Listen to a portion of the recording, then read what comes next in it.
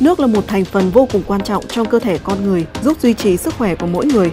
Và để thay đổi nguồn nước, Vietface TV xin giới thiệu máy lọc nước điện giải Kangen, một sản phẩm tuyệt vời từ Nhật Bản, giúp tăng cường sức khỏe, cân bằng trạng thái cơ thể, làm chậm quá trình lão hóa, gia tăng tuổi thọ, hỗ trợ quá trình tiêu hóa, giúp đường ruột sạch hơn và hoạt động tốt hơn.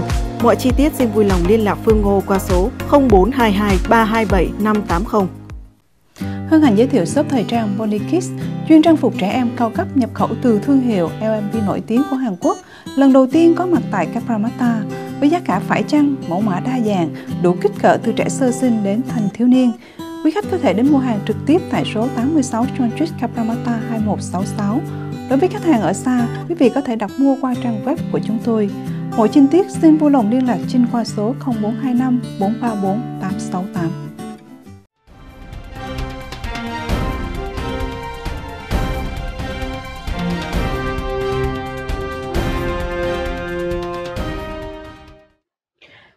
Xin trân trọng kính chào quý vị khán thính giả của đài Việt Face TV Úc Châu.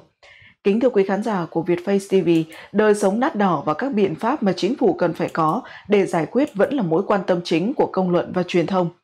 Trong khi đó, thì một cuộc tranh luận đã bùng nổ trong vấn đề thay đổi phương thức vận hành của hệ thống Medicare sau 40 năm hoạt động. Trong bang giao với Trung Quốc, một phái đoàn Quốc hội Úc thăm viếng Đài Loan có thể tạo thêm khó khăn cho Thủ tướng Albanese. Và sau đây là phần tin chi tiết của Vietface TV trong bản tin vào lúc 3 giờ chiều hôm nay thứ hai, ngày 5 tháng 12 năm 2022.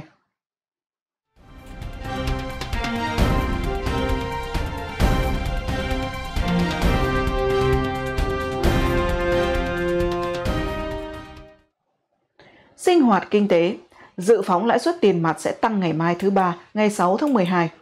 Theo bản tin AAP, dự phóng là ngân hàng chữ kim vào ngày mai thứ ba sẽ loan báo gia tăng lãi suất tiền mặt lần cuối trong năm nay 2022 với 0.25% và do đó lãi suất sẽ lên mức 3.1%. Điều này có lẽ không làm ai ngạc nhiên, nhưng gánh nặng cho những ai trả nợ thế chấp thì mỗi ngày một gia tăng. Cũng theo dự phóng của các chuyên gia thì có lẽ trong phiên họp đầu tiên của năm 2023, ngân hàng chữ kim ABA sẽ lại gia tăng lãi suất thêm một lần nữa. Nhưng cũng không có gì chắc chắn là ngân hàng chữ kim sẽ chấm dứt chuỗi gia tăng lãi suất bắt đầu từ tháng 5. Lý do mà ngân hàng chữ kim tiếp tục gia tăng lãi suất theo một vài chuyên gia là vì thị trường nhân dụng hãy còn bị áp lực cao và chỉ số lạm phát tuy đã giảm chút định trong tháng 11, tức là giảm từ 7.3% xuống còn 6.9%, nhưng 6.9% vẫn hãy còn quá cao so với mức độ từ 2 đến 3% là mục tiêu của ngân hàng chữ kim. Trong bối cảnh mà chỉ số lạm phát đang ở mức cao thì sự gia tăng quá nhanh của tổng sản lượng GDP cũng có thể là một yếu tố mà ngân hàng chữ kim quan tâm. Trong quý 2 năm 2022, tức là từ tháng 4 đến tháng 6, thì nền kinh tế Úc đã gia tăng 0.9%, tức là tương đương 3.6% trên căn bản chọn năm. Kinh tế gia của ngân hàng ANZ dự phóng là GDP sẽ tăng 0.7% trong quý 3, tức là từ tháng 7 đến tháng 9 năm 2022, và nếu điều này trở thành hiện thực thì mức độ gia tăng của GDP đã phần nào giảm. Trong tuần này, nhiều dữ kiện kinh tế sẽ được phổ biến, chẳng hạn như hôm nay, Tổng nhà thống kê ABS sẽ phổ biến dữ kiện sinh hoạt kinh tế. Trong khi đó, thì vào ngày mai thứ ba, những dữ kiện về thương mại và dịch vụ công cũng như chi tiêu của các hộ gia đình sẽ được phổ biến. Sau đó là những phổ biến của ngân hàng ANZ và Roy Morgan về niềm tin của người tiêu dùng cũng như niềm tin của thương trường. Đời sống hàng ngày, chính phủ công bố gia tăng trợ cấp định kỳ cho nhiều thành phần. Theo nguồn tin chính phủ, các khoản trợ cấp của Centerlink, kể cả trợ cấp tuổi già Age Pension, sẽ gia tăng hơn 2% kể từ ngày 20 tháng 3 năm tới 2023 và đây được coi là sự gia tăng lớn nhất kể từ năm 2013, tốn kém thêm cho công quỹ là 2 tỷ 200 triệu đô la. Ngoài ra, kể từ ngày 1 tháng 1 năm tới, trợ cấp cho thanh thiếu niên tức là Youth Allowance sẽ gia tăng thêm 19.20 đô la cho mỗi 2 tuần. Điều này có nghĩa là một thanh niên sẽ nhận được 589.20 đô la mỗi 2 tuần. Với những ai có gia đình thì sự gia tăng sẽ là 41.4 đô la, tức là mức trợ cấp mới sẽ là 729.6 đô la mỗi 2 tuần. Trong khi đó thì những ai lãnh trợ cấp All Study cũng sẽ có thêm 32.4 đô la hoặc cao hơn là 41.4 đô la cho mỗi 2 tuần, tùy thuộc vào việc họ có con hay không. Tất cả những sự gia tăng này đều xảy ra một cách định kỳ, căn cứ vào chỉ số lạm phát mỗi năm và đây không phải là quyết định đặc biệt của chính phủ. Mặc dù vậy, Bộ trưởng Dịch vụ Xã hội Amanda Richworth nói rằng những sự gia tăng này sẽ giúp đỡ cư dân trong đời sống đắt đỏ hiện nay. Ngoài ra, những sự gia tăng này còn áp dụng cho những ai lãnh trợ cấp khuyết tật với sự gia tăng từ 27 đến 40 đô la mỗi 2 tuần. Riêng những khoản trợ cấp thất nghiệp JobKeeper cũng có sự gia tăng định kỳ nhưng không xảy ra vào lúc này. Hệ thống bảo hiểm y tế công Medicare tranh luận về phương thức cải tiến. Hệ thống Medicare đã được 40 tuổi và theo một phúc trình của Viện Nghiên cứu Grattan Institute thì hệ thống này có vẻ như đã lỗi thời và cần được cải tiến. Điểm chính trong phúc trình của Grattan Institute là hệ thống Medicare hiện nay đang khuyến khích các bác sĩ gia đình thu ngắn thời gian khám bệnh để có thể gia tăng số bệnh nhân bằng cách khám cho nhiều bệnh nhân để có thêm lợi tức nhằm trang trải chi phí cao.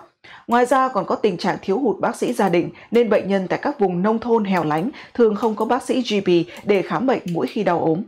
Trong cốt lõi thì nghiên cứu của Gretchen Institute là hệ thống Medicare hiện nay không còn thích hợp cho cả bệnh nhân và bác sĩ và do đó cần được thay đổi. Do đó, Grattan Institute đề nghị là hệ thống Medicare cần thay đổi để trợ giúp cho một đơn vị chăm sóc sức khỏe. Đơn vị này bao gồm bác sĩ gia đình và những nhân viên y tế khác, chẳng hạn như y tá và nhân viên vật lý trị liệu. Tình trạng của Medicare hiện nay cũng là mối quan tâm của chính phủ và Bộ trưởng Y tế Liên bang Mark Butler đã coi việc chăm sóc sức khỏe cơ bản là đang gặp khủng hoảng và do đó ông đã loan báo thành lập một ủy ban đặc nhiệm để cứu xét củng cố hệ thống Medicare. Phản ứng lại đề nghị của Grattan Institute, Hiệp hội các bác sĩ gia đình gọi tắt là RACGP, thì không đồng ý với đề nghị của Grattan Institute. Bác sĩ Nicole Higgins, chủ tịch RACGP nói rằng đề nghị của Grattan Institute trong thực chất để đặt ra một cấu trúc bàn giấy và sẽ không cải thiện được quan hệ với tập thể các bác sĩ gia đình. Bởi lý do ấy mà tổ chức RACGP lập luận là ngân khoản của Medicare nên được gia tăng và cung cấp trực tiếp cho bác sĩ gia đình và bệnh nhân của họ.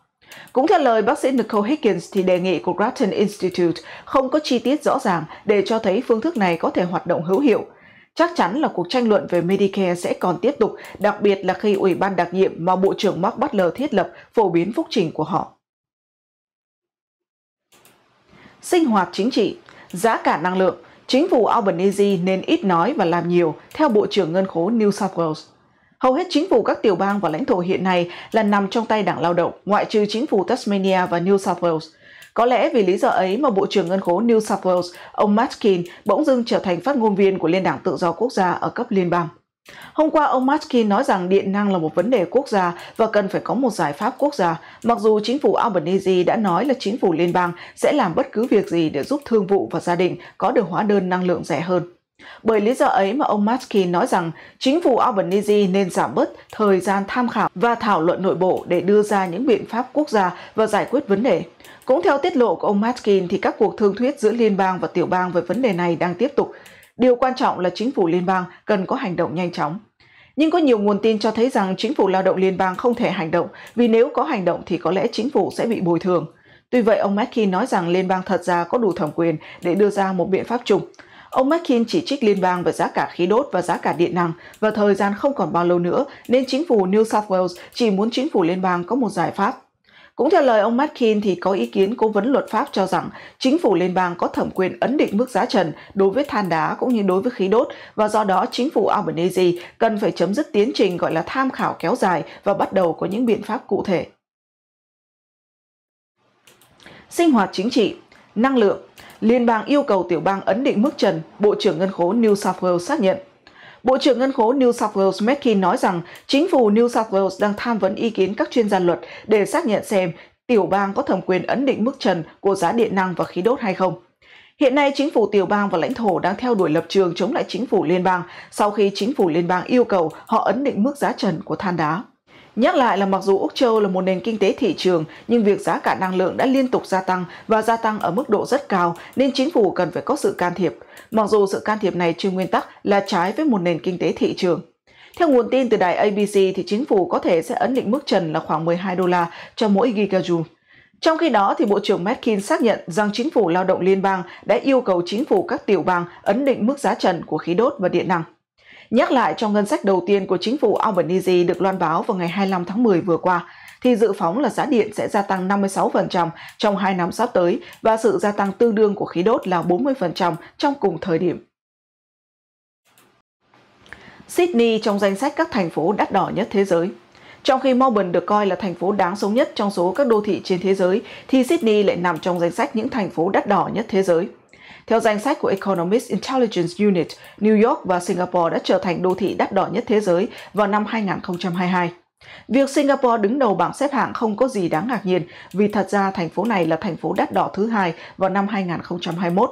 Trong khi đó, thì thành phố đứng đầu năm ngoái là Tel Aviv đã tụt xuống vị trí thứ ba. Hồng Kông và Los Angeles cũng có mặt trong top 5. Năm nay, Sydney bất ngờ lọt vào top 10. Các thành phố của Úc nhìn chung đều tăng hạng. Melbourne tăng từ hạng 16 năm ngoái lên hạng 15, Brisbane tăng lên hạng 32 từ hạng 36. Tokyo và Osaka của Nhật Bản nằm trong số 10 thành phố giảm hạng nhiều nhất, lần lượt ở vị trí thứ 37 và 43, giảm từ vị trí 13 và 10 vào năm 2021. Giá năng lượng cùng lạm phát cao là nguyên nhân chính dẫn tới chi phí đắt đỏ tại các thành phố trong danh sách năm nay của Economist Intelligence Unit. Có một thực tế là chi phí sinh hoạt ở 172 thành phố lớn trên thế giới đã tăng trung bình lên 8.1%, mức cao nhất trong hơn hai thập kỷ. Nguyên nhân là do chiến tranh ở Ukraine làm gián đoạn chuỗi cung ứng khiến giá năng lượng tăng cao, tỷ lệ lạm phát cũng tăng gấp đôi. Giá xăng dầu tăng là động lực lớn nhất dẫn đến lạm phát cao. Trung bình một lít nhiên liệu đã đắt hơn 22% so với một năm trước đó. Trên toàn thế giới, giá gas và điện đã tăng 11%, đứng về chỉ số lạm phát trong khi nước Úc là 6.8%, thì chỉ số này tại Venezuela ở Nam Mỹ là 132%. Bang giao với Bắc Kinh, phái đoàn Quốc hội Úc thăm viếng Đài Loan. Một phái đoàn quốc hội gồm 6 chính trị gia của Đảng Lao động cũng như Liên đảng Tự do Quốc gia sẽ lên đường thăm viếng Đài Loan vào Chủ nhật và đây là cuộc thăm viếng đầu tiên trong nhiều năm qua. Hôm qua, Thủ tướng Albanese đã tìm cách nhấn mạnh việc thăm viếng này không có nhiều ý nghĩa và việc các dân biểu và nghị sĩ ở hàng ghế sau thăm viếng các nước khác là chuyện bình thường. Thủ tướng Albanese nói rằng lập trường của Úc đối với Trung Quốc và Đài Loan được chia sẻ bởi Đảng Lao động và Liên đảng Tự do Quốc gia. Chuyến công du này được tổ chức bởi một dân biểu Đảng Tự do, ông Scott Buchholz, và bao gồm cựu Phó Thủ tướng Barnaby Joyce và hai dân biểu Đảng Lao động Meryl Swanson và Libby Coker. Thủ tướng Albanese nói rằng trong quá khứ đã có nhiều phái đoàn dân biểu và nghị sĩ Úc thăm viếng Đài Loan và phái đoàn này không phải là một cuộc thăm viếng bởi chính phủ.